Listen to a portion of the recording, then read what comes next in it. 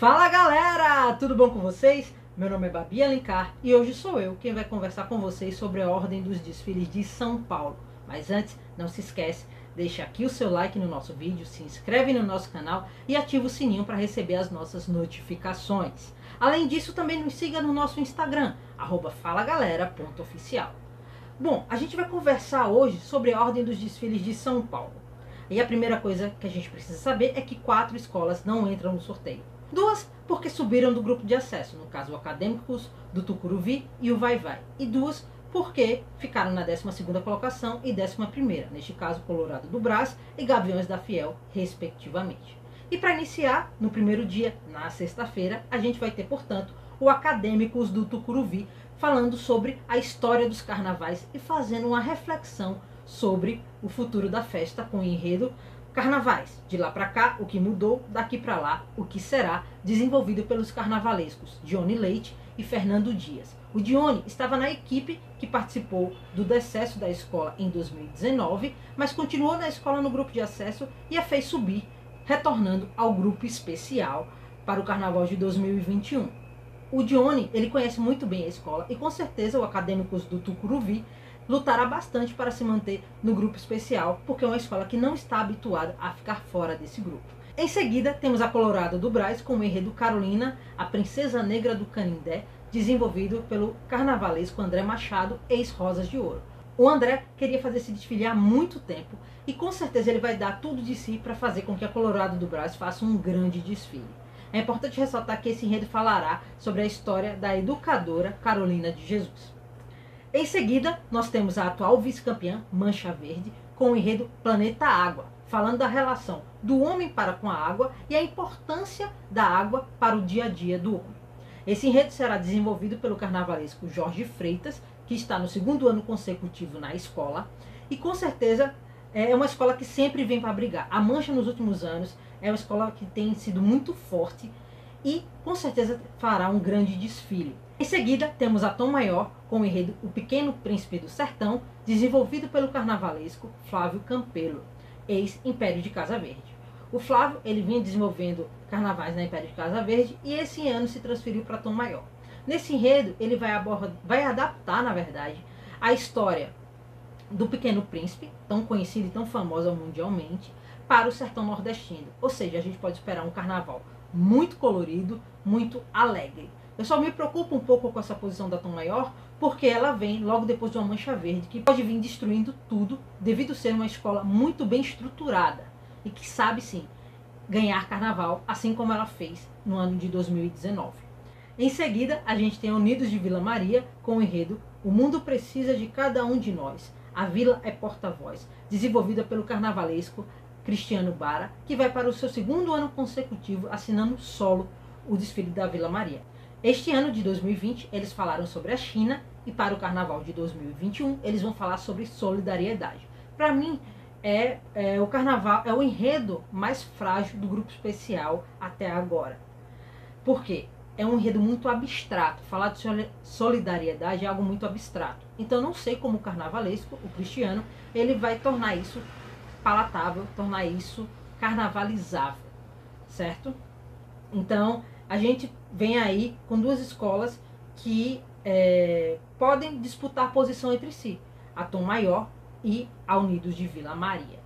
Na sexta-feira, a gente tem o Acadêmicos do Tatuapé contando a história do café sob a ótica do Preto Velho, com o enredo Preto Velho, conta a saga do café num canto de fé, desenvolvido pelo carnavalesco Wagner Santos, que vai para o seu quarto ano na escola. Ou seja, é um é carnavalesco que entende muito bem a escola e que com certeza vai vir para brigar. É um enredo forte que conta essa história do café, né?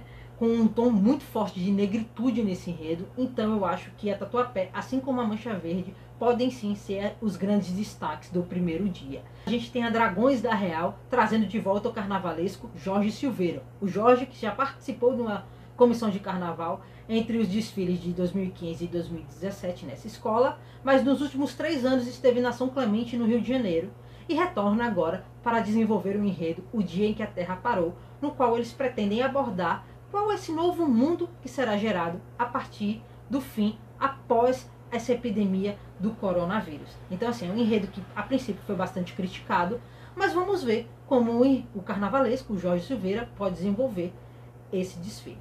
Vamos abrir o segundo dia simplesmente com a maior campeã do carnaval paulistano, o Vai Vai, com o enredo Sankofa, desenvolvido pelo carnavalesco Chico Espinosa. O Chico, que conhece tão bem a escola, vai tocar na raiz da escola, vai pegar o DNA da escola, esse DNA negro tão forte que tem na história da Vai Vai. O Chico Espinosa é, falou em algumas entrevistas, já que a escola não divulgou a sinopse ainda, que ele pretende fazer com que um negro saia majestoso da África e venha para o Brasil.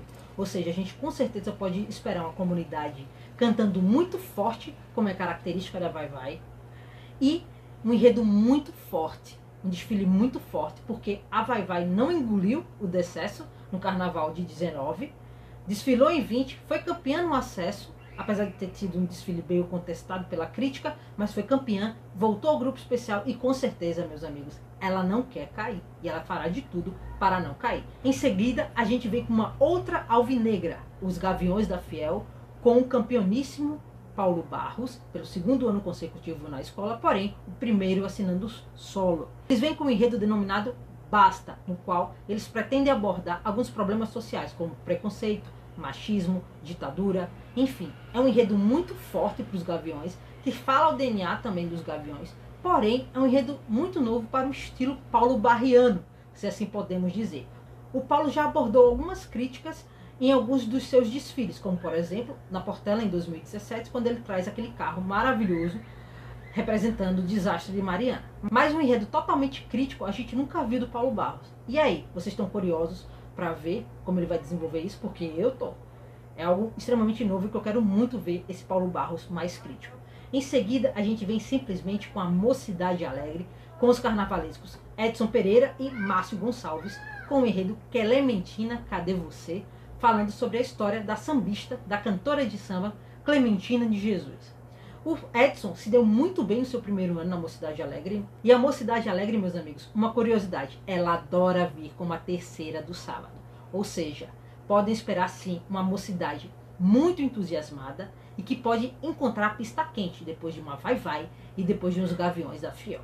Ou seja, tem tudo para dar muito certo esse desfile da Mocidade Alegre e com certeza a escola vai vir muito aguerrida, tentando aí ganhar esse carnaval de 2021. Na quarta posição de sábado, a gente tem a Águia de Ouro, com o enredo A Foché de Oxalá no Cortejo de Babá, um canto de luz em tempos de trevas, desenvolvido pelo carnavalesco Sidney França, que está no seu segundo ano consecutivo na escola. Esse é o primeiro enredo essencialmente negro da Águia de Ouro. Então, assim, é uma surpresa, a gente não sabe como essa escola vem, mas com certeza o Sidney França ele vai desenvolver muito bem esse enredo, porque ele é um carnavalesco muito talentoso e soube sim tornar a Águia de Ouro pela primeira vez na sua, na sua história campeã do carnaval paulistano e que com certeza estará lutando pelo seu bicampeonato. A quinta escola a desfilar no sábado é a Barroca Zona Sul, com o enredo A Evolução da Sua Fé, Saravá Seu Zé, desenvolvido pelos carnavalescos Rodrigo Meiners e Rogério Sapo. A Barroca, que subiu no carnaval de 2020 e conseguiu se manter para o carnaval de 2021, vem falando sobre Zé Pilinta, essa importante entidade do candomblé. E com certeza vem muito forte. Apesar de ter uns problemas de evolução e harmonia inerentes à escola, a gente espera que o Barroca faça um grande desfile. Na sexta posição, a gente tem o Rosas de Ouro, e que vem falando sobre os rituais de cura através do carnavalesco Paulo Menezes, que estreia na agremiação. O enredo é denominado Sanitário. A gente espera também que o Rosas faça um grande desfile, porque o Paulo Menezes, dentro da sua característica de carnavalesco, converge muito bem para as características do DNA do Rosas. Algo muito semelhante, por exemplo, ao que ele fez em O Império do Divino em 2006, e o Rosas tem tudo para fazer um grande desfile. Fechando o Carnaval Paulistano, a gente tem o Império de Casa Verde, que ainda não tem um enredo pré-definido. Fala-se muito em homenagear o Carlinhos Maia e os influenciadores, mas nada ainda foi confirmado pela escola. O Mauro Quintais, juntamente com Leandro Barbosa, é quem vai desenvolver esse enredo. Bom, gente, é isso que eu tenho para falar para vocês. No segundo dia, eu destacaria esse começo de sábado muito forte com Vai Vai, Gaviões e Mocidade Alegre. E o Rosas também pode surpreender, dentro dessa batalha, dessa briga de cachorro grande, porque sem dúvidas o sábado está imperdível. É o dia mais forte em São Paulo, com enredos muito fortes. O Barroca com certeza vai ter que se esforçar bastante para tentar se sobressair nessa briga de cachorro grande, que será o sábado em São Paulo. E você, o que achou? Gostou da posição da sua escola? Comenta aqui, deixa aqui nos comentários, deixa a gente saber o que você está pensando sobre a ordem dos desfiles do Carnaval de São Paulo para 2021. É isso. Espero que vocês tenham gostado. Um cheiro em cada um de vocês e até a próxima.